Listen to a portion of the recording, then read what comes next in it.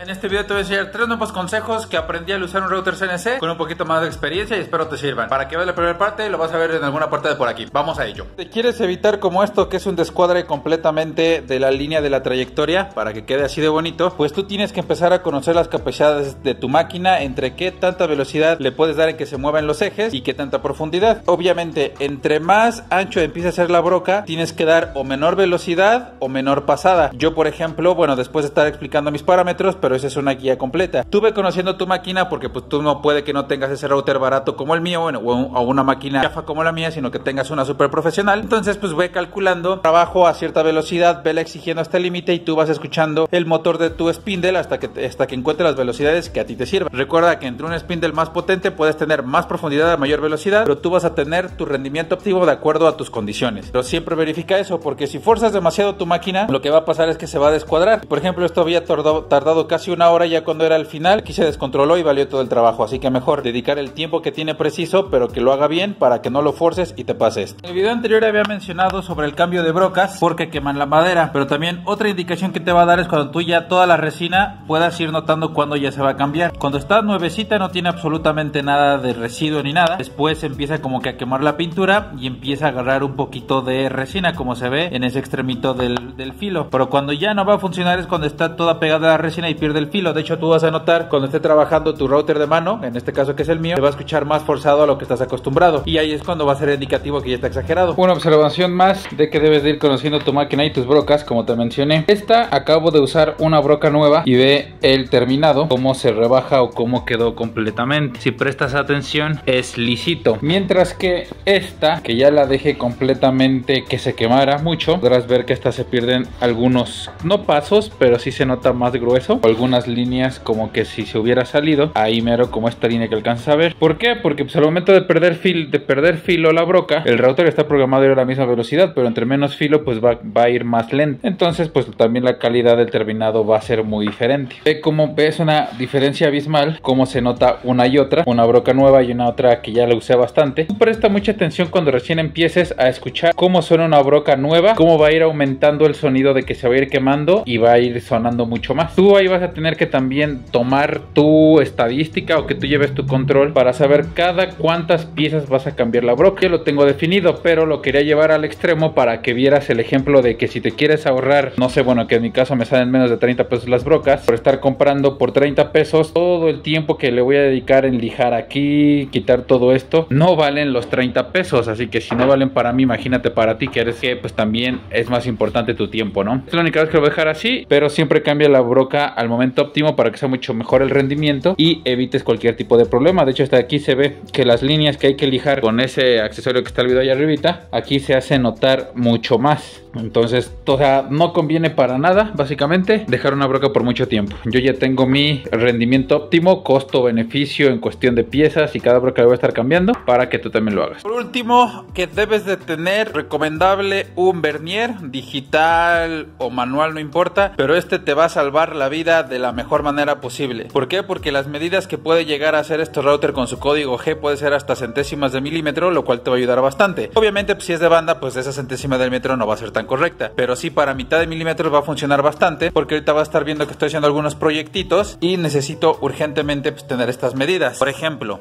Ahorita estoy haciendo unas pruebas de diseño para hacer caber esto y pues necesito saber exactamente esta medida y con el, y con el metro batallaríamos bastante. Pues con el vernier tenemos exactamente el grosor que necesitamos. Entonces un vernier te va a ayudar bastante para tener medidas muy exactas al momento de hacer los diseños en la computadora para poder mecanizar. Este sí tiene que ser una herramienta súper básica que debes de tener en tu taller o con tu máquina CNC porque se van a complementar perfectamente. Hasta aquí el video de esta semana. Son unos consejitos más que espero te sirvan. Estaremos subiendo otro tipo de más consejos sobre estas máquinas, ya sea sencillitas, ya aprendí un poquito más de esto y otras cosas. Así que nos vemos pronto y si te gusta ya sabes, comparte y comenta y todo lo que dicen los demás porque pues ya también eso sirve. Nos vemos pronto, chao.